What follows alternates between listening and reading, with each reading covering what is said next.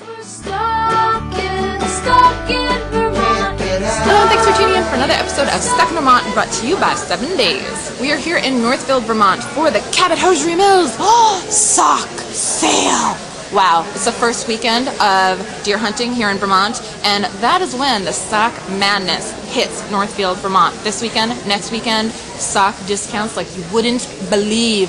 What's so special about socks anyway?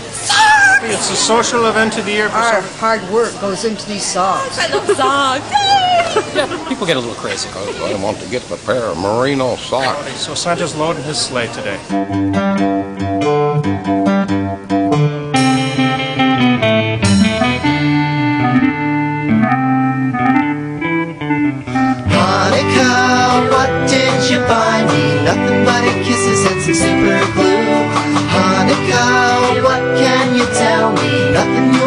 You before, but I love you. This weekend it's our 20th annual uh, factory sock sale. Uh, we make socks special for the sock sale. We really open up the factory and uh, people walk past the machinery when they come in. People come year after year. People come for the first time. I remember coming when I was little.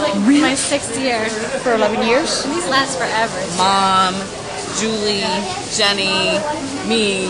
friend Madison, Myself, boyfriend. ourselves, and My husband. my cousins. Granddaughter and uh, son and grandson. And myself. Dad, Paul, me. I hardly have any socks. So the wives could uh, come in and, and shop while their husbands were out hunting. Both of your boyfriends go hunting this weekend? Yep. Up at 4.30 yesterday morning. That makes you a hunter's widow. But I actually see a lot of husbands and boys and men in here. I think some of these guys are hired. They just ain't foolish enough to wear the orange like I am. We're, we're committed uh, to being here. Uh, we have a lot of people that have been with us for many years. and- I shape socks. And how long have you been here?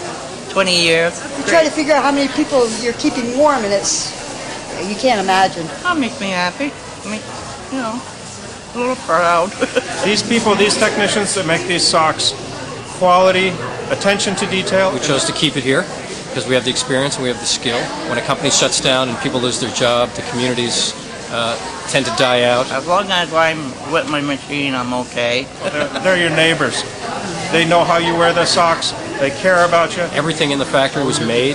Everything at the sale was made by people in the factory. Warm, warm feeling to know that so many people wear our socks, and now that we're doing the military socks, the proudness of our socks being worn over in Iraq. Yes, we're the last, uh, the last sock company in Vermont for sure. We're probably the last sock company in New England, and one of the last in the United States. Well, I'm the third generation of my family uh, in the sock business. We're following uh, a sustainable community business model.